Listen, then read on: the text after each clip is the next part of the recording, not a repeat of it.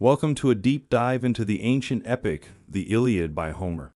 Our journey begins in the 8th century BCE, in a world dominated by gods, heroes, and a war that shaped Western literature. This is Homer's Iliad. The Iliad is a fascinating chronicle of the final year of the Trojan War. It's a blend of history, mythology, and gripping storytelling. The protagonist is the Greek hero Achilles, renowned for his strength and combat skills, but his volatile temper sets the stage for this epic tale. The story begins with a dispute between Achilles and Agamemnon, the king of Mycenae. A quarrel about war spoil sparks a feud that has dire consequences. Agamemnon takes a woman named Briseis from Achilles, causing the latter to withdraw from battle. This move changes the tide of the Trojan War against the Greeks, Achilles' mother Thetis, a sea nymph, convinces Zeus, the king of gods, to aid the Trojans, making things worse for the Greeks. The Iliad presents a world where fate and the gods control human destiny.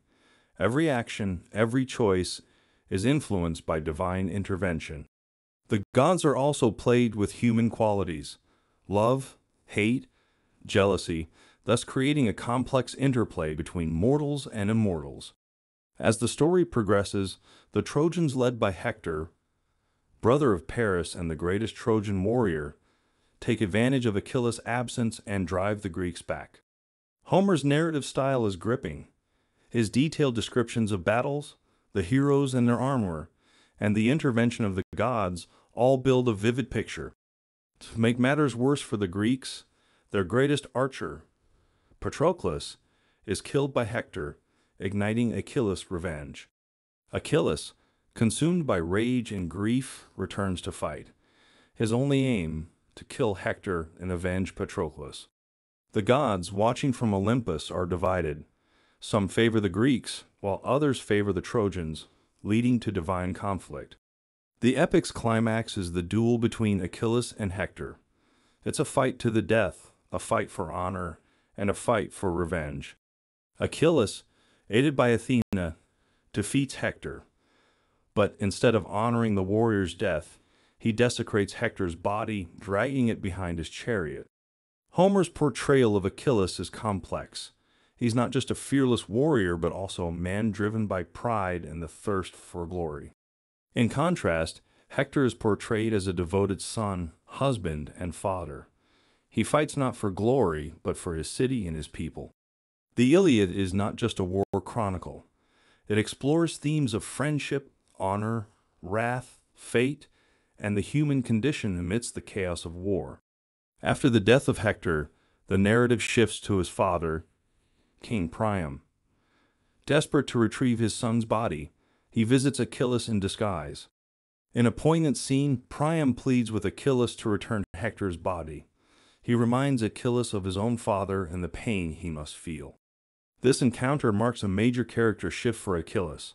He's moved by Priam's words and returns Hector's body, showing a softer and more humane side. The Iliad ends with the funeral of Hector. Although the Trojan War continues, Homer chooses to conclude on this note of loss and mourning. The Iliad's influence on Western literature is immeasurable. It's the earliest work in the Western literary tradition and continues to inspire writers and scholars. The epic explores the concept of heroism, but it also raises questions. Is glory worth the cost of life? What does it mean to be human in the face of war and death? Homer's skillful storytelling, the intricate plot, and the timeless themes make the Iliad a masterpiece of literature. The Iliad is more than a tale of wrath, war, and heroism. It's a mirror to our own lives, our strengths, faults, and the choices we make.